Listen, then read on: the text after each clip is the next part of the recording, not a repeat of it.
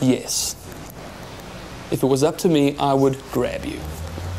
Because I can feel you. Samantha. Is she a good person? Feeling? Yes. Is she a hard worker? Feeling? Yes. Yes, yes, yes. But it's a no. Long story short, head office has said that we cannot take on anyone new for the next three months. Yeah. In fact, between you and me, I think they're actually thinking of BEE points. But uh, don't tell anyone, it's bad for morale.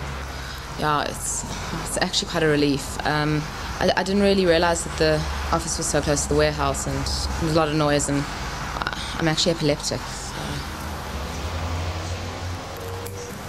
Just points. Would you say that being an epileptic makes you disabled as a person?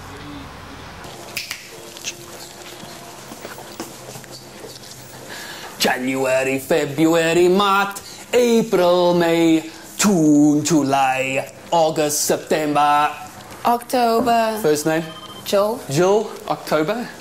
Receptionist. Been here for Six years. six years. Straight out of school. Into job. Smart move. Medical aid. Tick. Provident fund. Tick. Fun. Double tick. Fun later. Work first. Messages. Uh, Brenda Matabele called. Head office. Uh, she says she's running five minutes late. Unprofessional.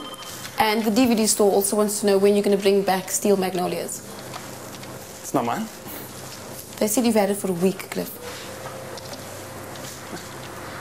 Doesn't really matter who hired it, doesn't it? It's a good movie. All that matters is, is it worth the money? You know? It's a good movie. Some bosses are afraid to show their feelings. Not me.